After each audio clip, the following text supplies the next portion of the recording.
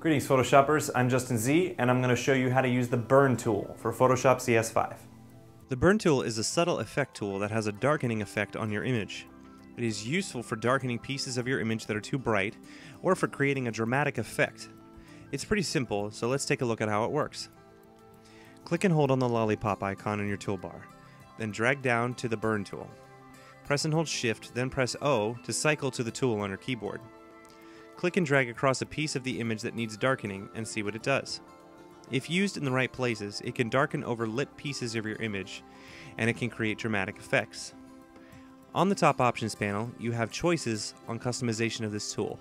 You can change the brush size and stroke hardness, the softer the better. You can change the tool's range from midtones to highlights to shadows. You can set the exposure, you have options for using a stylus, and you have an option to protect your color tones. Generally, you want to keep this tool for darkening highlights or midtones that look a little too bright. Be sure to keep the effects subtle, as the effects are more noticeable than you realize. Thanks for watching. Be sure to rate, comment, and subscribe below, and you can send any questions or requests for Photoshop to requests at mahalo.com.